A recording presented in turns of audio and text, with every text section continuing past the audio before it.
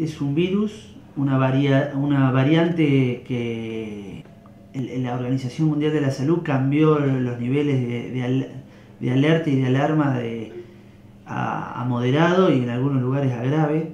Aparentemente se expande muy rápidamente. Una persona que está infectada o que es portadora contagia de 1.4 a 2.9 personas. Es una infección respiratoria que cursa con severidad eh, importante y bloquea los sistemas de terapia intensiva y, genera muchos pacientes en respiradores.